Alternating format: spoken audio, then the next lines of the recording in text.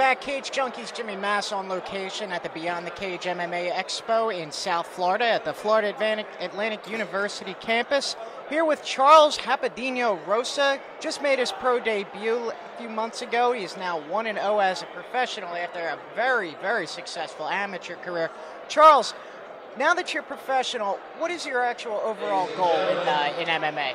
My uh, my main goal is to make it to the UFC. Um, I have a little ways to go. You know, I only have one professional fight right now. I'm having a little bit of a hard time getting more fights uh, because of my amateur career. But you know, I feel like once I get going, I get and I get the momentum going, and I can get a couple wins, you know, in a row. Like probably get to like six or seven and zero. We can start hopefully, you know, making negotiations to try to get there. Um, my goal right now is just the next fight. Um, hopefully, I'm fighting January 19th. Um, you know, at the Hard Rock Casino. So I'm so I'm hoping that happens and, uh, you know, we can get a move on things.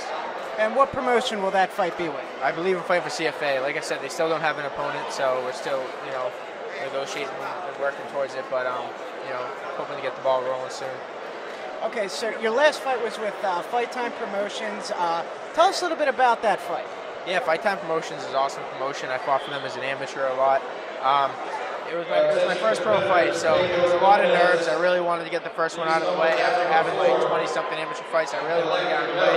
But man, I went in there and I was amped, just like always. You know, I like I knew that um, I was prepared. I, trained so long for it, and uh, I went and took care of business. It was it, it was a great fight. All my fans were there, all my friends and family. So I'm um, looking forward to make it happen again. Well, we look forward to seeing you fight again soon. We hope that uh, that fight pans out for you in January. Hopefully, we don't have too many guys turn down the fight with you. And uh, we look forward to seeing it. Thanks a lot for coming out.